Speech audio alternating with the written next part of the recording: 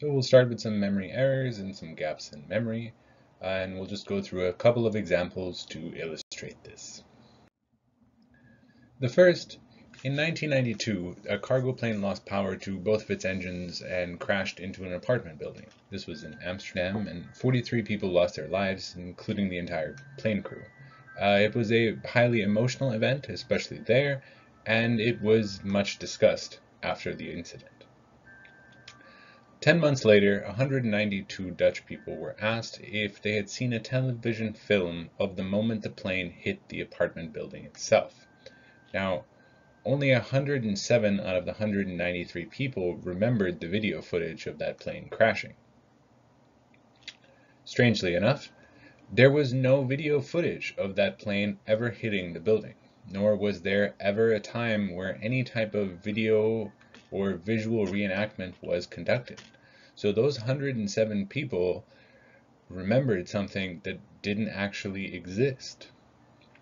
Further, in a follow-up study, 93 people were asked if they had seen the video of that crash, along with details about it. When we're talking about details about it, they asked subjects if they had seen the plane come down vertically or horizontally, if the plane was on fire before it crashed or caught flames as soon as it hit the building, things like this. And in this, in this case, 67%, or about two-thirds of people, reported seeing that film. And please remember, there's no such film that exists. And when asked about things like the plane's speed, only 23%, that is a little bit less than a quarter of people, said they couldn't remember while the remainder provided various responses, things like it was going really fast or slow or speeding downwards or some such. Now, it is interesting that so many people came up with some type of response, especially since they never saw the plane crash in the first place. Um, if that is confusing and you think that these people might just be old and pre-dementia pathed individuals, uh, that is not the case. These are just average human beings, and this is actually fairly representative of human beings in general. We will talk a lot more about why this was probably the case.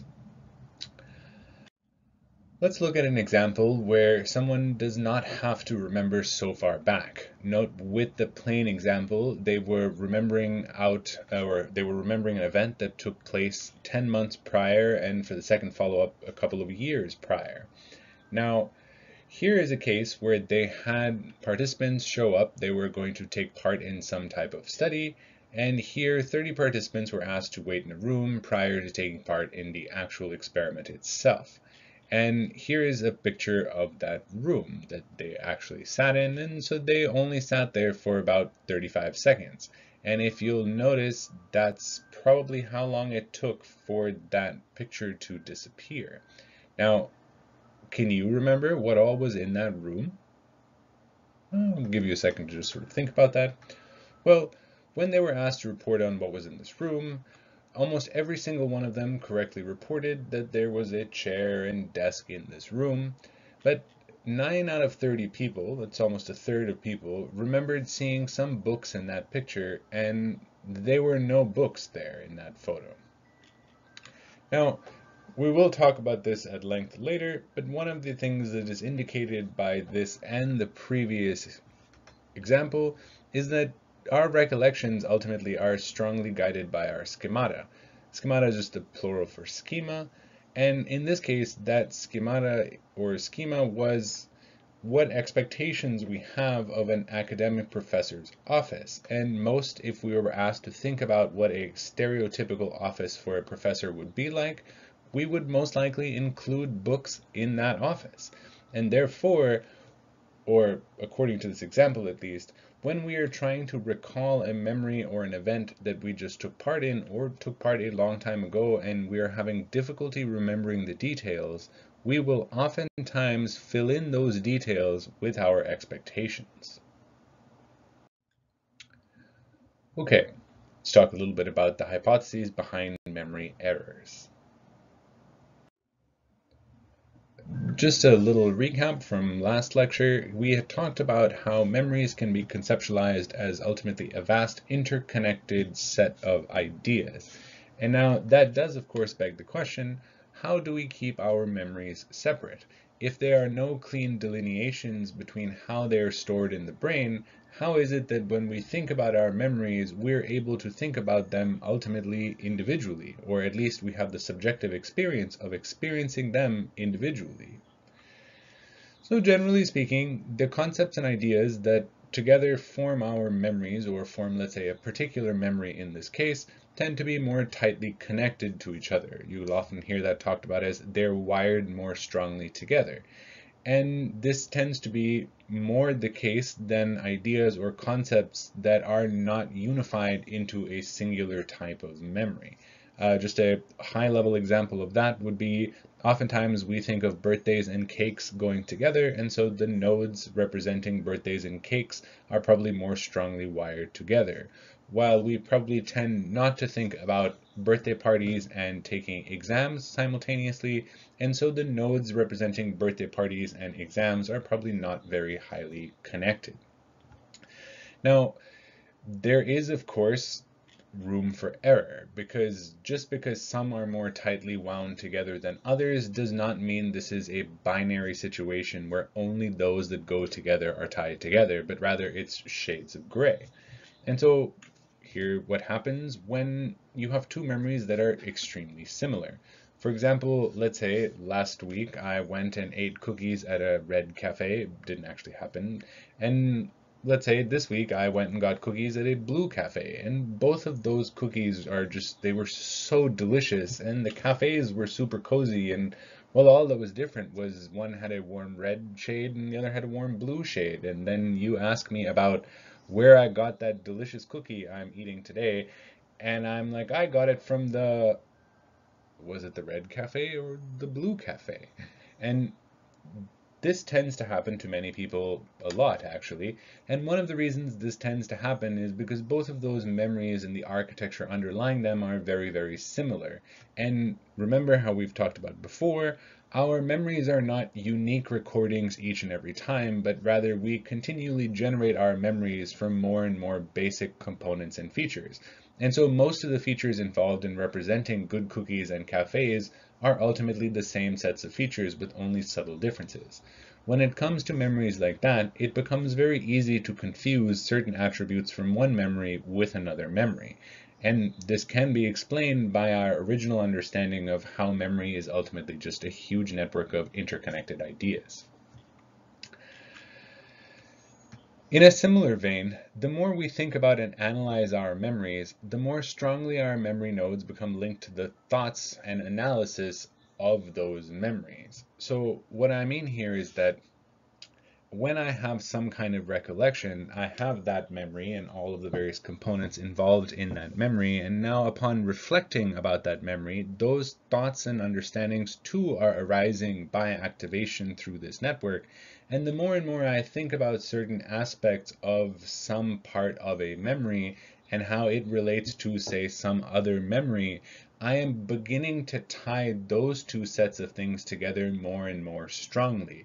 And now whenever I go back and try and remember this memory, it will no longer be just that memory, but I will also likely remember other components that I have thought about over the intervening time. Uh, an example of this would just be, you know, if I spend a couple weeks thinking about why I did not stop for a cookie after the fact, of course, and then some time later you were to ask me why I didn't stop, I might tell you the reasoning I had for not stopping and getting a cookie, and I might tell you that story as if I had had those thoughts prior to me not stopping, which in fact is not actually the case. I just didn't stop for whatever reason, and then I thought about the fact that I didn't have a cookie and why I did not stop, and on later reflection, I get that time order messed up because now I'm confusing the memories of actually not stopping with my memories of trying to think about why I did not stop in the first place. Okay, we have talked previously about how understanding helps our memory. Mm, today we'll talk a little bit about how it hurts our memory as well. So it helps our memory because the more we understand, the more we are integrating novel concepts into previous information and knowledge that we have. Speaking in terms of this network concept, ultimately what we are doing is when we are trying to understand, we are more richly integrating new units and nodes into the existing network. This ultimately allows for more ways in which we can retrieve specific memories. But this increased interconnectivity can also lead to the same type of memory problems we talked about on that previous slide. The more strongly I interconnect lots and lots of different concepts and ideas together, it does make it ultimately easier for me to remember those various concepts and ideas just because of the vast network that is now interconnecting all of these nodes, but it can make it more likely that I will begin to confuse certain aspects of some memories with others because of that high interconnectivity between these nodes. When we make those type of errors, they are generally called intrusion errors, where some unrelated piece of knowledge or information is is intruding into our memories and causing us to ultimately have some type of memory error. A little example of how this works. So here people were given one of two passages. So they were either given the following passage, I'm sure you can read it, but I will just read it for you in case you're not looking at the screen. So Nancy arrived at the cocktail party. She looked around the room to see who was there. She went to talk with her professor. She felt she had to talk to him, but was a little nervous about what to say. A group of people started to play charades. Nancy went over and had some refreshments. The hors d'oeuvres were good, but she wasn't interested in talking to the rest of the people at the party. After a while, she decided she had had enough and left the party. Now, one half of participants received this, the other half of participants received that same passage, except this time they got an additional few sentences. The additional sentences were, Nancy woke up feeling sick again, and she wondered if she really was pregnant. How would she tell the professor she had been seeing? And money was another problem. So after reading one of these two variants, subjects were asked to recall as many of the statements in the passage they had just read as possible and to do so as accurately as possible. Now, you could just for a second, I suppose, pause and make a guess as to what happened. Well, I'm just going to turn on a pointer. So let us look first here. The themed condition is the thing or the condition in which they gave this sort of preamble, where now you know why Nancy is going to this party and why she's nervous about talking to the professor. And here you can see that on average, these people tended to remember more propositions accurately than those in the neutral condition. The neutral condition just being those who received the statement without the prologue which is great. This fits in line with what we talked about last time, is the more we can build complex narratives and have understanding, the more likely we are to remember events and aspects of those memories. While the more neutral and less impactful it is, we tend to not remember as well. Now, in this set of boxes here, you can see that we have the opposite pattern for incorrect inferences. Now, what we mean by these inferred propositions or incorrect inferences is something to the effect of, let's say, the professor got Nancy pregnant, which people tended to remember a lot, even though it is not actually present in the story that was given. It could be inferred from it, but it was not actually present. And so saying that this was a sentence that you had seen prior would technically be an incorrect response. Uh, just in case, the studied propositions here would be something like Nancy arrived at the cocktail party, which was present in the statement itself. Now, here you can see that in the neutral condition, those who did not get this passage, they only incorrectly added about 3.7 propositions, whereas those who were in the narrative or received that prologue condition tended to make a lot more of these inference-based errors. And ultimately, what is going on? It's likely that those who received the story, the more rich story, were more richly integrating it with previous understanding they had. Things like television shows or novels or even, unfortunately, personal life experience. And those ultimately are now contaminating the original memory of the prompt that they just read, leading them to make much more incorrect inferences, even though their overall memory for what was there was better. Now, Is one better than the other? Not necessarily. It's just a matter of different types of patterns. That the more richly interconnected you bring novel ideas in with, the more likely you are to remember aspects of that novel material, but also the more likely you are to have intrusion-based errors. Another way of finding incorrect memories is something called the DRM procedure. It is doesn't have a fancy name or anything like this. It is just named after the three researchers who came up with it. And it is a procedure that yields a large number of memory errors. And it does so even when you inform participants that this procedure is likely to result in a large degree of memory errors. Now the procedure itself involves giving participants a list of themed or related words and then they're asked to recall these words at some later time. And these words are related to, as I said, some theme, and that label for that theme and other words not present in the list but also related to that theme are then presented to participants later on along with the original words themselves, and they are asked to make a determination of whether they saw this word that they're now being shown in the previous list or not.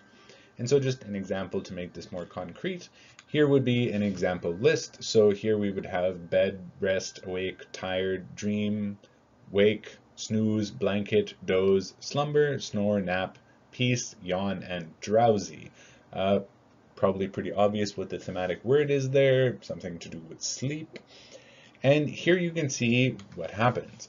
Participants were very good at being able to actually remember all of the words from the list. This is just probably just good at being able to remember along with a theme unifying all of these ideas. So even if they did forget one or two of those words, the chances are that the overall theme and being able to recall certain ones of those words is going to activate other words that might have been close to being forgotten.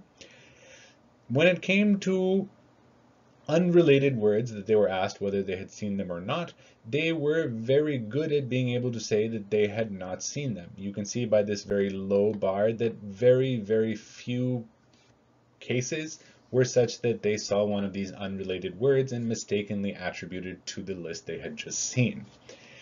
When it came to words that re related to the theme of the words that they were presented, like if I had shown the word sleep, in this case, people falsely identified those words as being on the list at about the same rate as they were able to for the words that were actually there. It is just a way to show the high interconnectivity between items that exist in the brain can yield great benefits, allowing us to have very, very good memories, but it can also result in very specific types of memory errors. All right, a little bit about schematic knowledge. So schematic knowledge refers to our knowledge of how certain events are supposed to be. For example, you're supposed to get menus at a restaurant. Well, most restaurants that you sit down and order food at. Um, so this ultimately could lead to a situation like this if you had gone to a restaurant and eaten some food and you were coming back and you were telling your friend about, oh, the meal was great and the ambiance was really nice and the server was cool and the drinks were awesome, so on and so forth. And then your friend is like, oh, uh, well, what was on the menus and what did they look at? And, or even better yet, they ask if you were even given a menu or was it just some sort of chef special type of thing and you who were not really paying much attention to when you got those menus and rather just chose something and moved on with your life to enjoy the nice cocktail and meal, so to speak, would probably have no trouble saying, yes, I did in fact get a menu at that restaurant, even if you have no recollection whatsoever of seeing that menu. And now, this is ultimately not because you remember the menu itself, but because you know that you're supposed to get a menu at the restaurant, and therefore, even if you don't recall the instance, you would be probably fairly confident saying you got the menu. And oftentimes, these schemas or schemata will influence where we direct our attention, and this intention in turn influences what we will remember. Remember, we talked a lot about you have to be able to attend to certain types of events or stimuli in order to encode them into memory. And so anything that changes how we direct our attention is likely to change how our memories ultimately are formed and what aspects of our memories we will be able to carry forward versus other ones that will sort of fade away. Now, if we don't actually remember something, we may quote unquote remember what fits with our schemas. Now, all I mean by this is like I was talking about with the menu. We might not actually remember seeing the menu, but we will remember having gotten a menu even if we don't actually remember it. All we're really doing here is just filling in those blank spaces with what we expect to be the case. This is one of the reasons why we can drive along a commute many, many, many times before seeing some establishment or building change because we're not actually necessarily paying attention to all of our surroundings because we know what it's supposed to be like. Okay, thinking back to those books in the professor's office, so here, I had mentioned this on that slide as well, but books are supposed to be in a professor's office, and so it makes sense that oftentimes they will get misremembered, because if a person doesn't really remember what all was in the room, it's probably a safe bet to bet on remembering that they were books in a professor's office. What about the plane video that never actually happened? Well, it's probably good to think about where most people in the 90s got their news from. Yes, they did still read newspapers at that time, just like some people still do today, but they did not really have much social media, and most of them watched the news on a television where they saw video reports of much of the news it makes sense that when asked about the video of the plane, maybe they don't actually remember the video itself, but it is so common to get news media through videos at the time, they didn't have much trouble remembering the video that never was. Okay, a little bit about the cost of memory errors. Well, they can be existentially worrying because I basically have been telling you now for a little while that we can make all types of memory errors and it then makes it a little bit weird thinking about our own memories. Of course, you probably will never have the subjective experience of not having a trustworthy memory because most of us tend to think about our memories as being trustworthy or like video recordings of the past, which unfortunately they are not. That being said, most of those type of costs tend to just be personal and subjective, and many of us think about it occasionally and then disregard it and go on with our lives. There can, however, be some much more costly errors. So, as technology has become more and more advanced, we've begun to use DNA testing in criminal cases. And not only can we use this criminal or DNA testing in criminal cases, but we can also begin to use that technology to either confirm or exonerate people who were previously convicted. Many times this is done because people kept samples at the time of those crimes and just didn't have the technology to analyze it. And then as technology advanced, we have begun to be able to use it to prove or falsify whether people were indeed guilty. And it is sad to say, but there are quite a number of people who ultimately have been exonerated with this methodology. And approximately three out of every four of such cases were cases that relied on eyewitness testimony to prove that the person was guilty, even when they were not. And we did talk a little bit about how it is very difficult to actually see faces from very far away. But another aspect of this here, specific to this, is how well we are actually able to remember the face of a person we maybe only saw for a very brief time in an emotionally charged situation. And the truth is, a lot of times we might believe that we saw someone even if we never actually saw them. And we will talk a little bit about different ways in which that system can become more or less biased.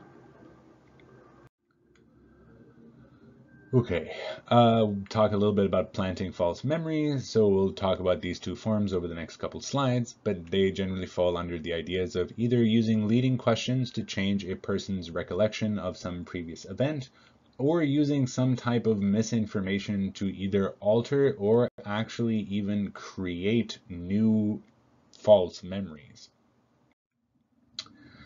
So a little bit about car accidents. This is actually quite a famous study, but here participants were shown a series of photos about an automobile collision. And a little while later, they were asked to estimate the speed at which those cars were traveling. Subjects were, however, asked to estimate this speed when the two cars hit each other, and another set of participants were asked to estimate their speed when the two cars smashed into each other. Now, they all saw the same set of photographs, and would you expect that this makes a difference in their estimates of speed? I mean, probably so, because I only ever ask those questions when something weird happens, but hey. So here's kind of what happened. So you can see that hit sits here and smash sits there, and people estimated the speed as being quite a bit higher when it was smashed versus hit. I think it's about 43 to 32 miles an hour was the estimates. You can see that as the words change and result in higher, higher semantic um, I don't want to use the word impact because the cars are impacting, but just as the sort of visual salience of high-speed collisions increases with the use of these words, you can see that people's estimates of speed continues to increase. Low estimates for contacted and hit, bumped is kind of in the middle, and collided and smashed result higher and higher. Okay, that just changes how we are making estimates of things, and well, what does that have to do with memory? Well, a week later, participants were asked about how much glass they remember seeing in the photographs. Now, there wasn't actually any glass in any of the photographs, and those that answered that smashed question and overestimated the speed, well, overestimated might not be right because they were still photographs, so you can't really tell. But those who received the question about estimating speed and were asked when the cars smashed each other tended to misremember that there was glass present while those who answered the hit question tended to not remember seeing the glass, or in this case, accurately respond that there was no glass in the collision. Now, this is just showing how our memories ultimately can be biased over time by the manner in which we are asked other questions. It is ultimately the estimate question that they were asked that resulted in their overestimation of them seeing glass when there was no glass. And that's the case because the only difference between these two groups of people was one set saw were they what speed were they traveling when they hit each other, and the other was what speed were they traveling when they smashed into each other. And ultimately here what's happening is the idea of smashed, not only in terms of cars, but across many, many other domains, is much, much more likely tied to broken glass and imagery that evokes similar things than hit is. Whereas if I was to talk about black eyes in the picture, it could well be that I would have remembered much more black eyes after receiving this hit question than the smashed question. And this is just again showing how that interconnectivity can ultimately lead to confusion between different types of memories, even to the point of misremembering certain features of a previous event. Now, this one is a little bit more wild. So the misinformation effect is ultimately talking about memory errors that result from some form of post-event misinformation. What that means is, you know, you have some event that occurred in the past, and now you have someone who tells you about that event at some more present time, and this influences, one, what we remember, and two, if we remember things that might never have actually happened. So to demonstrate this, a group of experimenters got a list of childhood events from the parents of a bunch of college students, and they then added, of course, some filler ones in there just because that's what the experiment was about. They found the college students and then they went about asking them if they remembered those events at all. And students were correctly able to recall over 80% of those actual events. And that's pretty good because, you know, we're talking about events that happened on the order of 10 or 15 years prior. Now, during that initial interview, no students remembered the fake events that the experimenters just put in there. And you would say that that's probably pretty great because they never actually happened, and to remember things that never actually happened would be kind of weird. They were, however, interviewed multiple times after this event, or after the experimenters asked them about these previous events in their past that either did or did not happen. And by the third interview now, as many as 25%, the quarter of all of those college students remembered some event that never took place. And this, in this line of experiment, I believe it was they spilled a punch bowl on the groom's parents at a wedding. Never actually happened. Now, this is just repeatedly asking about some event that happened in the past, and people then over time seem to have begun to remember an event that never took place. What about if you can provide evidence, though? Well, in those cases, it goes much higher. Here, as many as 80% of people tend to remember this event. So what did experimenters do here? They again asked parents for a bunch of photographs from their childhood, which they then superimposed onto other photos. So if you look carefully, you will see that there's the kid and the dad, or uncle, or strange man who is something, I don't know, it's probably the dad.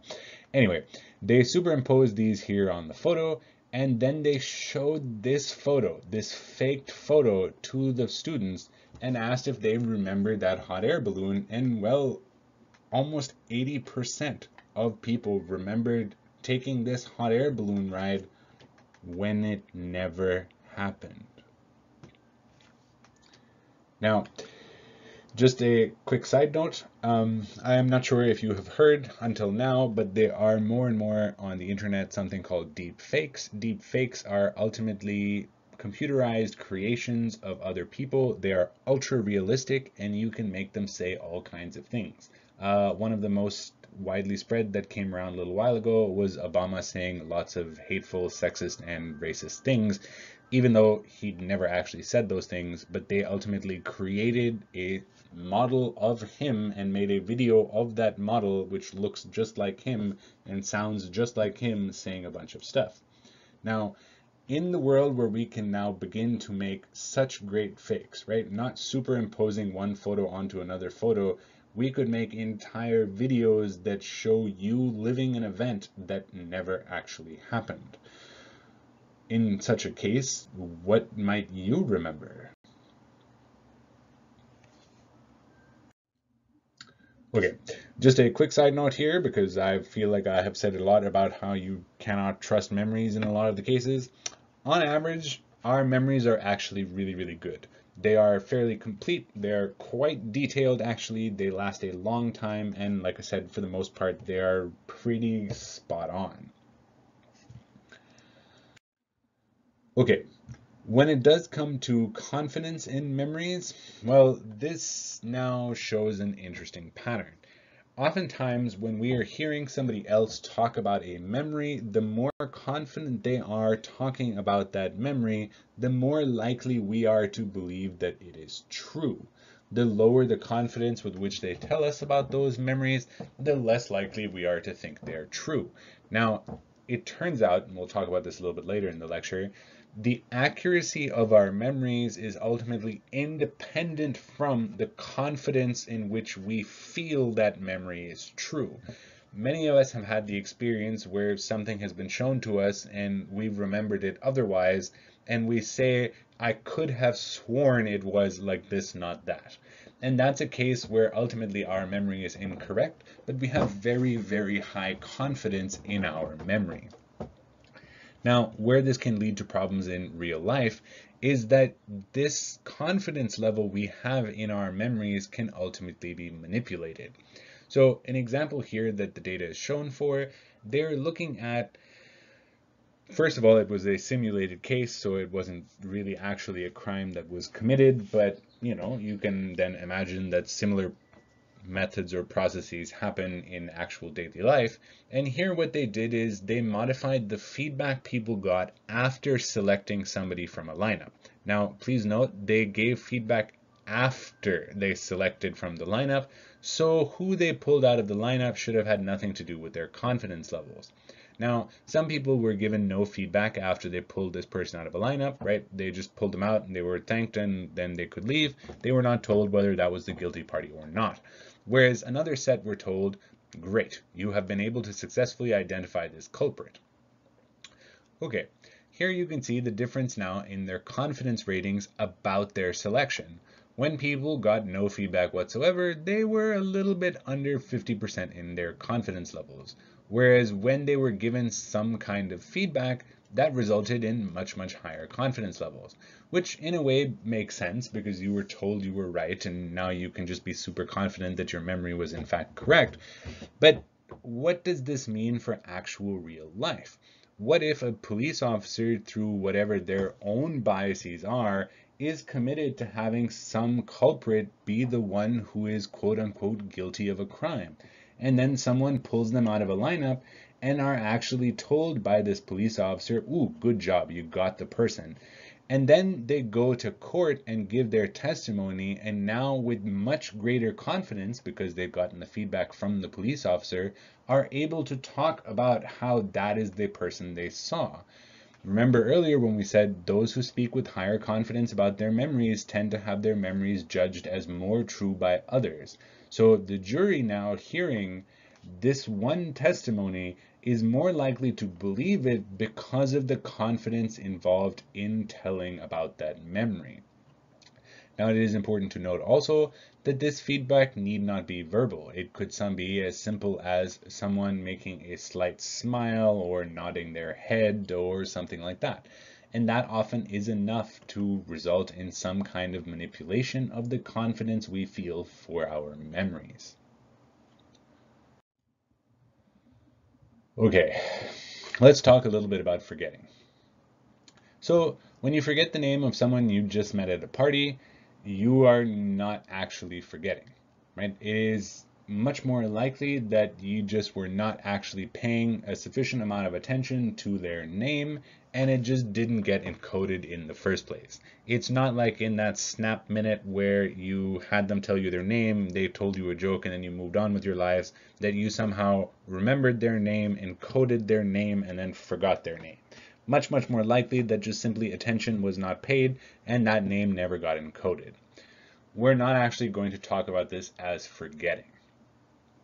Forgetting is specifically about when we have paid attention, encoded a memory, the memory is now in long-term storage, and then somehow it is no longer accessible. Here are three hypotheses around how it is that that information is no longer accessible once it has been committed to long-term memory. So decay, decay refers to the idea of, let me just turn this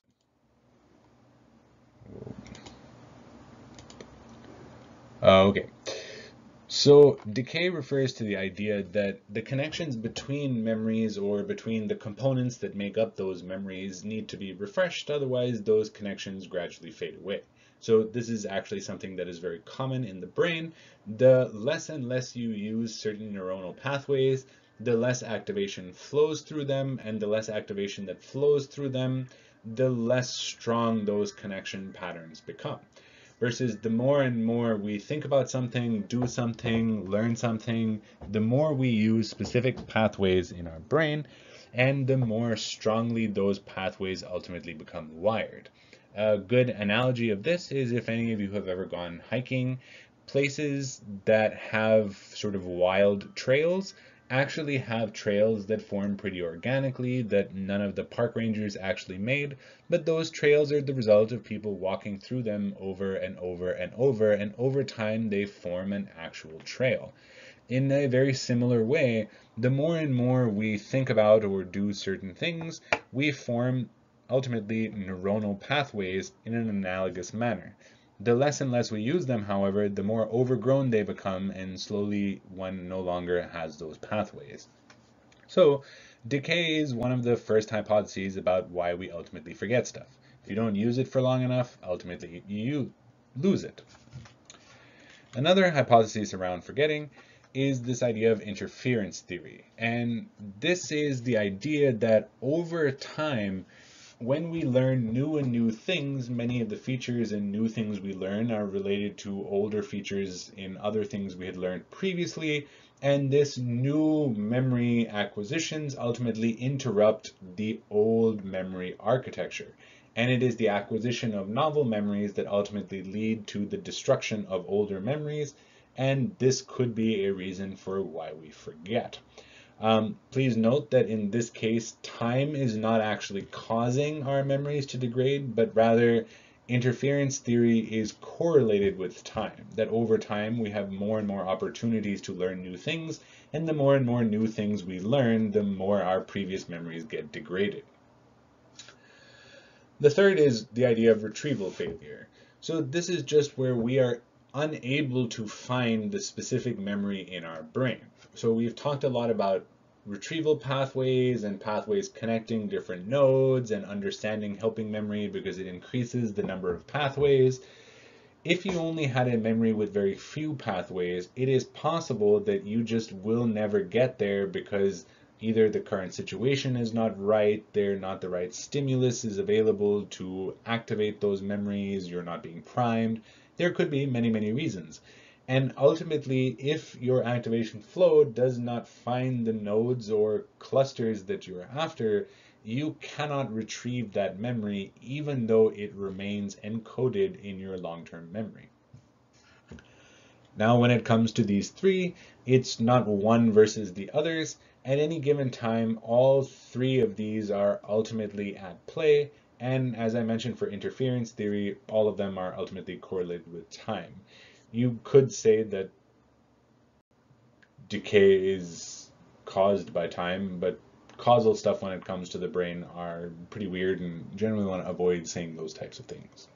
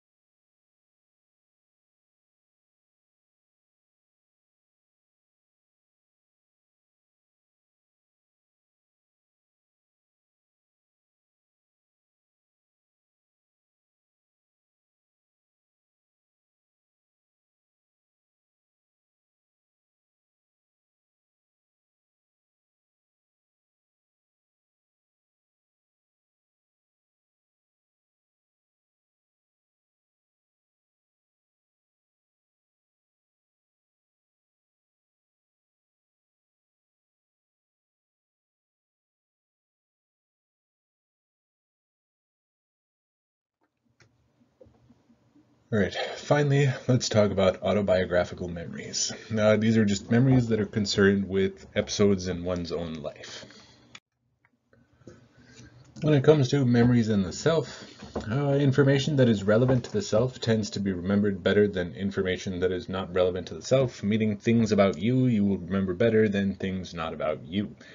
Uh, a nice real life example of this would be think about how well you remember directions when you yourself are the one who is driving versus you are in the passenger seat. We tend to remember directions much better when we are the one who is driving as opposed to being in the passenger side seat. And a lot of this can be explained because the directions are personally relevant when we are driving and they are not personally relevant when we are not driving. Uh, you could say that there's some attentional issues there, but that is more an example to get the point across. Nonetheless, there are still memory errors here as well. And one of the primary sources here is because of the schemas many of us have about ourselves. So we tend to believe that we are generally speaking more reasonable, consistent, and stable than we might actually be. And some of us are just very reasonable and consistent, but a lot of us tend not to be. And it's not to say that we're all crazy people, but just stuff in life happens that gets our feathers ruffled and makes us act in, act in unreasonable or inconsistent ways we tend not to always remember those because we don't remember every moment of our life. And when asked what we were likely doing in some circumstance, a lot of the time we will fill in those spaces with items and information that are congruent with our schemas of ourself.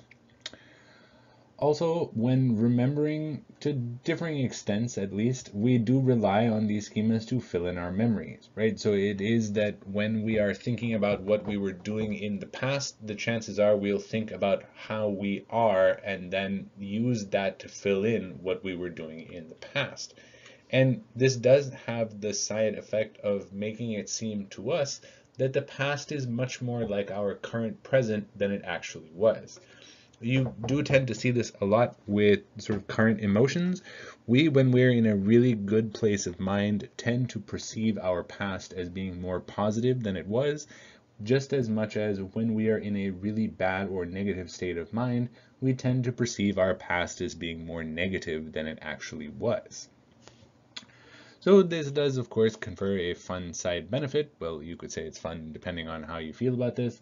But it turns out that students are much more likely over time to remember A's, so when they did quite well. So here you can see that about 89% of students in this study correctly remembered when they had A's, but we tend not to remember as well when we don't do as well. Of course, this is not true for everybody, and this is over time. In the moment, it tends to be very difficult not to think about our failures, but over a while, we tend to start to forget our previous instances in which our performance was not as good as we expected to be, and therein lies the part of why. We tend to expect ourselves to behave in a certain way, and we will remember the items that fit with what we were expecting to come true. A little bit about memory consolidation. So this is the process through which memories are ultimately cemented into place. This just means they're solidified and it occurs without one actively thinking about it and generally pretty quickly after an event has occurred. Uh, you could say at most maybe a day or two. Well, for the primary consolidation at least. You could talk about how this also occurs over many, many years with every time I revisit a memory, it is further consolidated. But particularly when we're talking about it like this, we're talking about when you're exposed to something, you think about something, you mull on something for a little while, this is ultimately, and behind the scenes at least more so, your memories are ultimately now being consolidated and integrated into the existing architecture of your brain. Uh, if this process is interrupted, ultimately no memory will be established and you cannot recall it later because no memory was established. Uh, this can be interrupted by either extreme fatigue, injuries, substance abuse, or extreme stress. So in all of these cases with fatigue, it just your brain performance degrades over time. Um, there's very interesting stories about extreme athletes and endurance people who have had to stay awake for many, many hours, and they will begin not only to have problems in their memory systems, but even their cognitive systems as well. Uh, if you receive some type of head injury, this can also lead to problems in consolidation. Substance abuse should probably go without saying. Um, and also extreme stress can cause problems with consolidation. Uh, a good analogy there is you can think about consolidation as a term of maintenance and imagine yourself as a car and if you were in extreme stress it would be like putting the car in neutral and stepping on the gas and just keeping that engine revving at 8000 rpms and then imagine trying to perform maintenance on the engine probably not going to work very well ultimately when we are under extreme amounts of stress and there is not a way in which we can resolve that stress it tends to ultimately manifest in our body just constantly trying to prepare itself for something and no outlet upon which to ever direct those energies. Uh, there is, of course, now increasing evidence that certain things can help with this process. So one of the primary ones that gets talked about a lot is a good night's rest. So it does seem to be, even though we don't 100% understand the ins and outs of the dreaming brain and why we need sleep, it does in turn seem to be the case that with sleep, specifically with dreams, and like I said, good night's rest, the process of memory consolidation tends to be more robust than if that is robbed from us. Another thing that helps a lot is emotions, and we're going to talk about that on the next slide. So in regard to consolidation, emotional triggers tend to evoke higher activation in the amygdala, and the amygdala in turn increases activity in the hippocampus, and the hippocampus is very strongly involved in establishing new memories. Uh, just to remember about the hippocampus and memories, just think back to patient HM who went in to have their epilepsy treated and ultimately had a portion of their hippocampus cut out, and from that moment on was unable to create any new memories. Um, a quick note on the amygdala. A lot of times when we talk about the amygdala, we talk about it in its relation to fear and fear-based stimuli. More and more we have begun to talk about the amygdala as a part of a salience network, meaning it helps us attend to things that are important and a lot of times triggers or stimuli that result in emotional responses tend to be fairly salient and thus we see a lot of activation in the amygdala. Also, emotional events tend to be quite important to the person who is experiencing the emotion, else why would you be having the emotions in the first place? And that makes us pay much more attention because it is now personally relevant to us and important. Not only does that increased attention help with the formation of these memories, but oftentimes we tend to mull over emotional events after they have concluded for some time after they're done. And this is ultimately analogous to memory rehearsal, where we are going over the item to be remembered again and again and again, and this does help us solidify our memories. Finally, emotions can also change what items we pay attention to uh, we have found that we do tend to notice or pay attention to things that are congruent with our emotions. We tend to focus more on happy things when we're in a happy state of mind and more on sad things when we're in a sad state of mind. And this change of attention, what is now being ultimately thought of as modifying what parts of the environment we are paying attention to, will change what parts of the environment we ultimately encode into long-term memory and which ones we don't. If you're not paying attention to something, you're not really going to remember it.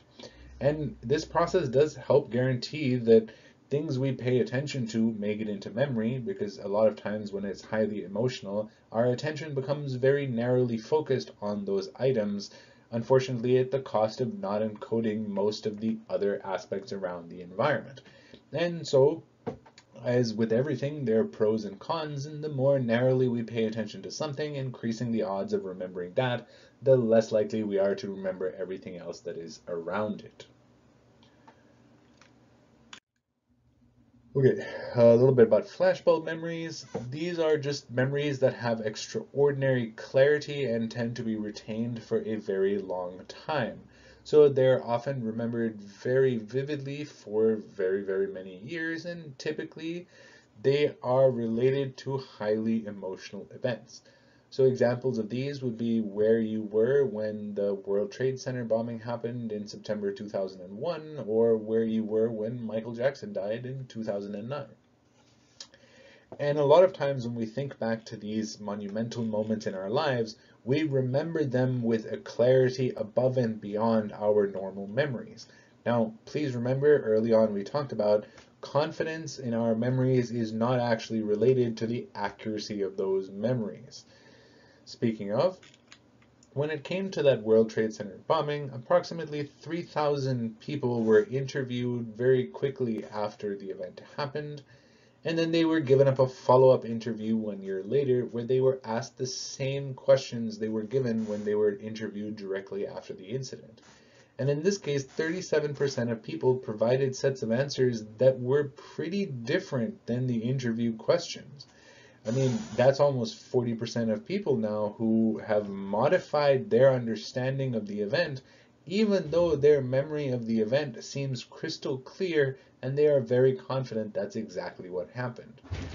In another follow-up interview three years later, this number went up to 43%, where they now provided a different set of answers than they had originally given right after the event. Now, despite these accuracy rates, confidence ratings in their memories was incredibly high.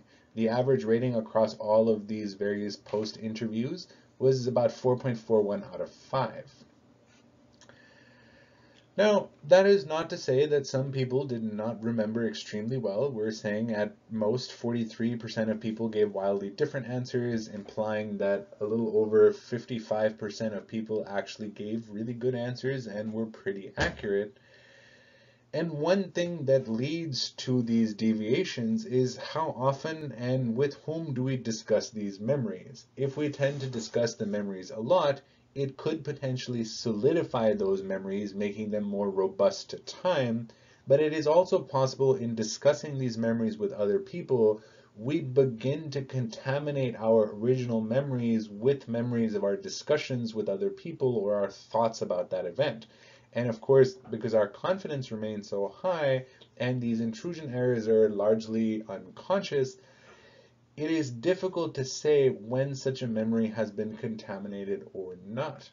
And on that vein, from the point of the person who has the memory, there is no detectable difference between an accurate memory and an inaccurate one. They both feel as if you were still there.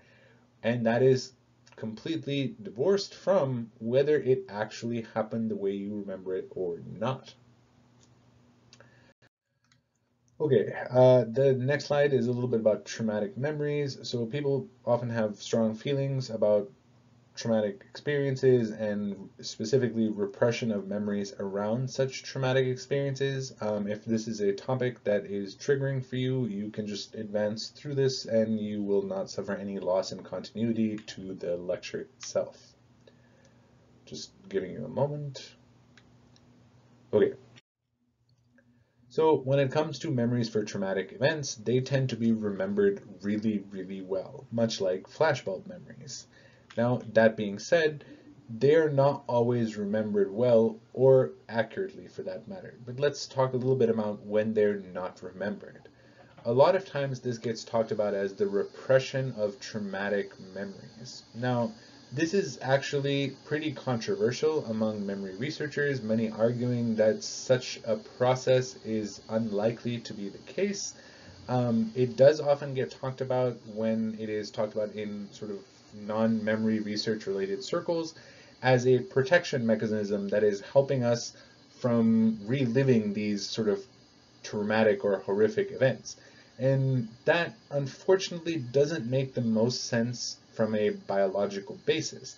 If you were to think about something that caused you a huge degree of trauma, to now force yourself to forget it is just going to increase the chances that you would go through something similar in the future.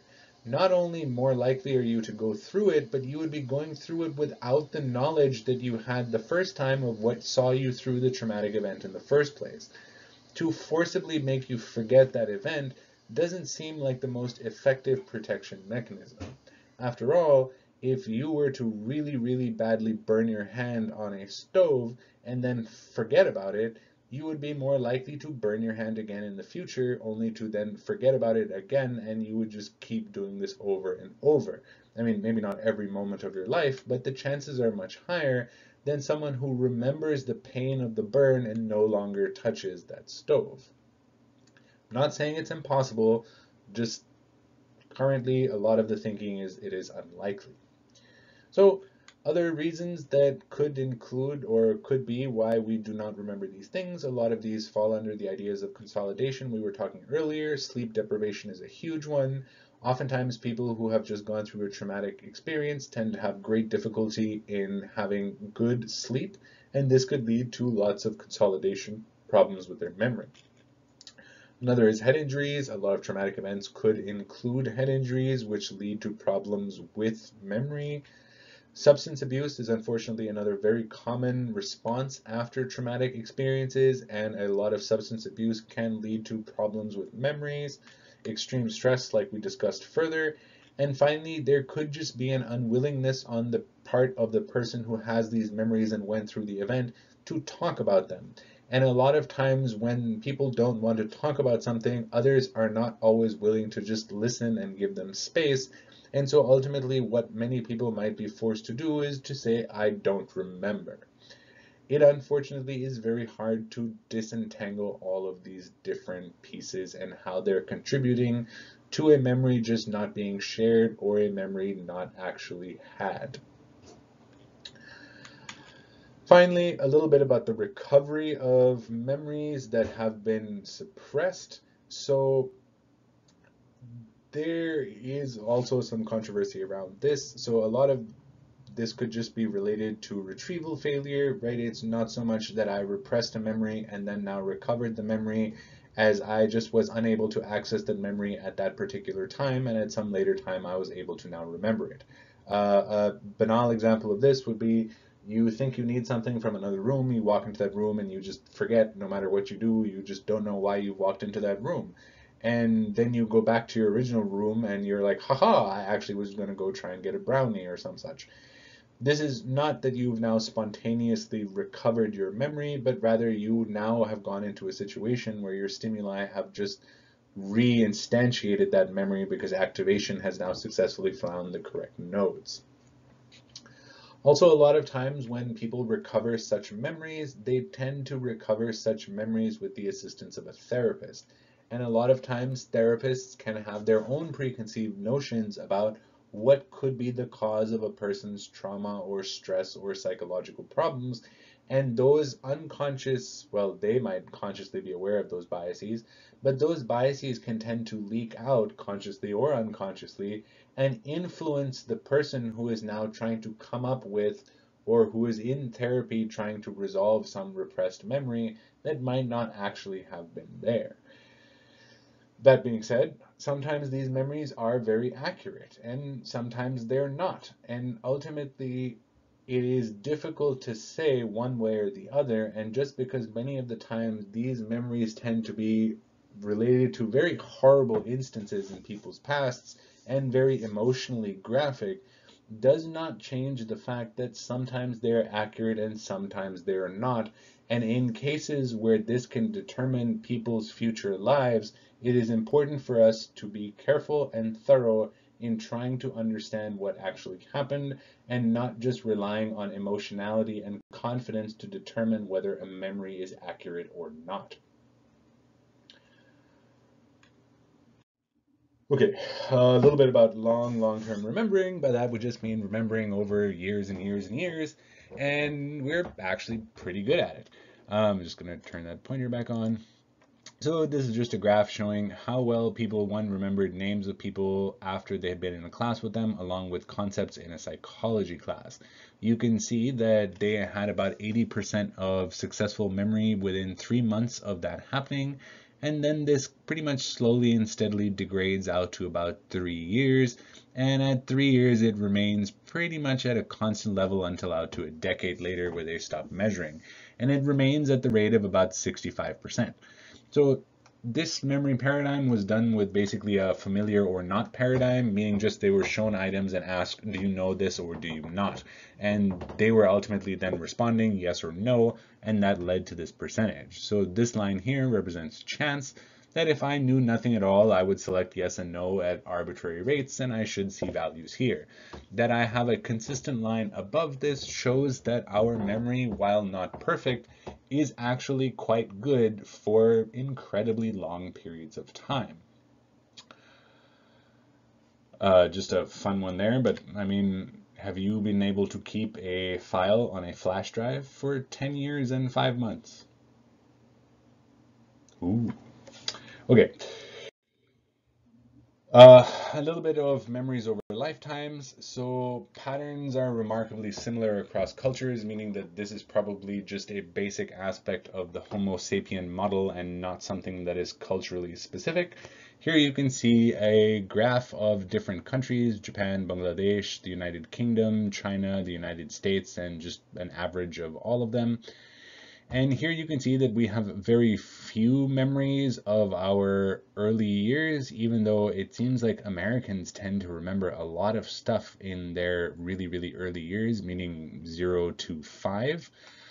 Uh, there's huge debate on how much of that is possible or not, but anyhow, you can see that as you get older, going through your teenage years and your 20s, we tend to remember a lot of memories, and then the amount of new memories that we have sort of degrades over time. And a lot of this tends to just be related to during our adolescence, we're kind of discovering ourselves and experimenting with things, and in our 20s, we're either going to college or being trained in professions, and we're discovering our life and starting families and getting loans and bank accounts and just becoming adults. And there are a lot of huge milestones we hit during this time period, which could be related to why we have so memory, so many memories of that event. And as we get older and older, more of the days kind of blur together unless we're actively taking effort to keep ourselves engaged. Also, this says nothing whatsoever about the accuracy of our memories. While we could have many, many memories in our 20s, whether those memories are true or not is, well, debatable. And the truth is, many of the memories we have about our 20s are not going to change our lives so dramatically when we are 60. So fighting with other people who are in their 60s about whether the memories were true or not, if it's not something directly relevant to your livelihood, well, who really knows? And since we're not actually video recording every single moment of our lives, how can you really know? But then again, maybe that will change as we march into the future. Right? Thank you.